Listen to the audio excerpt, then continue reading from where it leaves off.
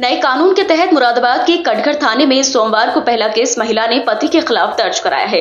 कटघर के डबल फाटक निवासी नीलम ने अपने पति के खिलाफ मारपीट के आरोप में केस दर्ज कराया है।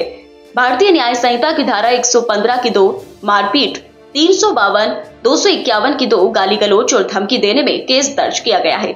कटघर थाने से DIG Muniraj ji, SSP Satpal Antil, SP city Akhilesh Bhadauria ने लोगों को नए कानून के तहत जागरूक करने के लिए रैली को हरी झंडी दिखाकर रवाना किया।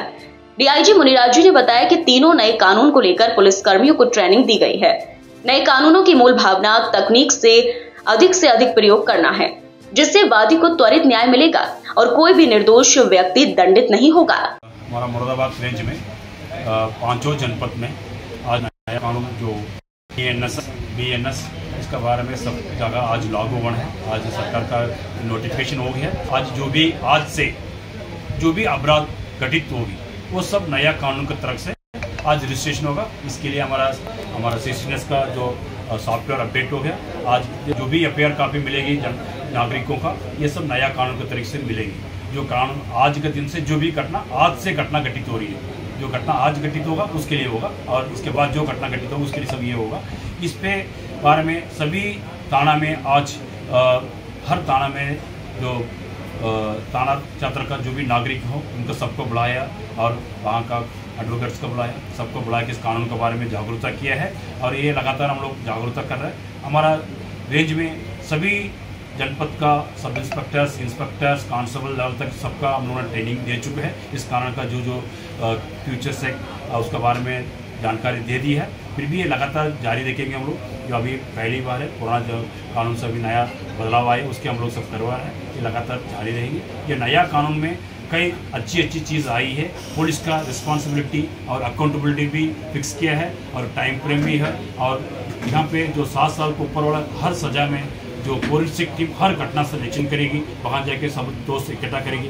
इस तरह अच्छी अच्छी चीज़ है। इसके ये वजह है, जो फोरेंसिक जाके एविडेंस कलेक्ट करेंगे, उस एविडेंस का हम कोर्ट में पुटअप करेंगे तो कन्विक्शन का रेट बढ़ेगा उसी तरीका जो नया टेक्नोलॉजी की यूज़ करते हुए सीसीटीवी फुटेज और mobile recording audio recording video recording ये सब एविडेंस के थ्रू से हम ट्रायल के माध्यम से यूज़ कर सकते हैं। ये भी पुलिस हर व्यक्ति से, हर घटना से ऊपर कनेक्ट करने का प्रयास करेगी, उसके यूज़ करेगी। इस तरह का कई तरीका अच्छी अच्छी चीज़ आई है। इसके अलावा जो हमारा पनिशमेंट सेक्शन में सबसे अच्छी चीज़ है पब्लिक कम्युनिटी सर्विस जो पेटी अपन से, उसके लिए कुछ पब्लिक कम्युनिटी सर्विस का सजा जुड़ा है। इस तरह का जो डेवलपमेंट नेशन में होते हैं, उस तरह यहाँ पे भी हमारा देश में भी आना वाले है। उसके लिए भी नया इंट्रोड्यूस किया है। इस तरह का कई तरह की चीज़ हुआ है और पहले आईपीसी में 511 सेक्शन था, अब उस पर कम होके बहुत सेक्शंस कम हो गया मर्ज हो गया। कई सेक्शन जो आज के दिन में ज़रूरत नहीं थी उसको हट गया। इस तरह का सेक्शंस भी बहुत कम हो गया, लगभग साढ़े तीन सौ के आसपास आ चुका है। अब इस तरह का कई एडवांटेज हमारा पुलिस के लिए मिली है और जनता के लिए भी है।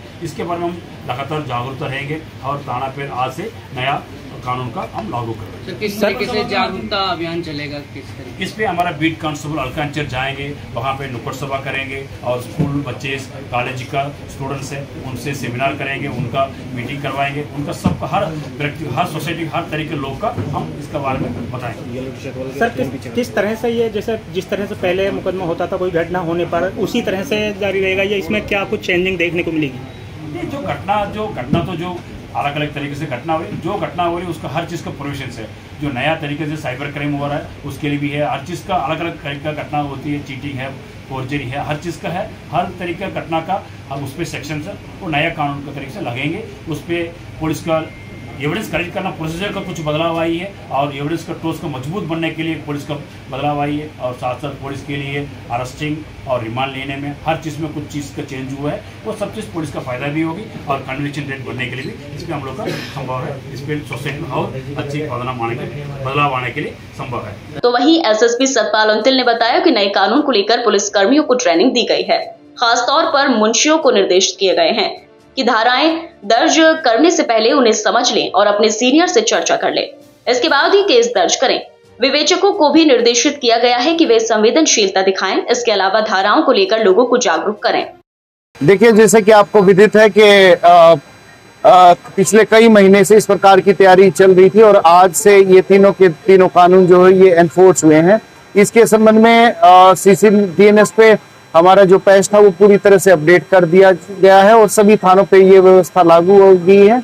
अब से जो भी अभियोग पंजीकृत होंगे, वो नए कानून के अंतर्गत अभियोग पंजीकृत होंगे और जो उनकी विवेचनात्मक कार्रवाई होगी, वो भी नए कानून के अंतर्गत होगी। इस संबंध में सभी जनपद में सभी अधिकारी, कर्मचारियों की ट्रेनिंग भी हुई है और सबको इस संबंध में और संवेदनशील किया गया। लगातार कोशिश रहेगी कि इस एक बेहतर व्यवस्था को और बेहतर तरीके से फ़ील्ड पे उतारा जा सके साथ में जनता में भी इस चीज़ के संवेद इस चीज़ की जागरूकता के संबंध में संवेदनशीलता के संबंध में लगातार अभियान चलाए जाएँगे।